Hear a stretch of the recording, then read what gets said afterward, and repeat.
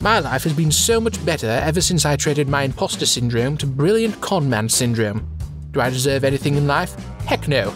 But I grasp it anyway. Heck yes. My art has never been worth diddly, but watch me blag my way into art school. I am a horrid goblin, but watch me make these people like me.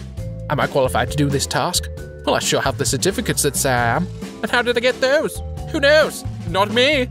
I am so good at cheating, I don't have to break a single rule to do it. I am brilliant, fast, and absolutely drunk with power.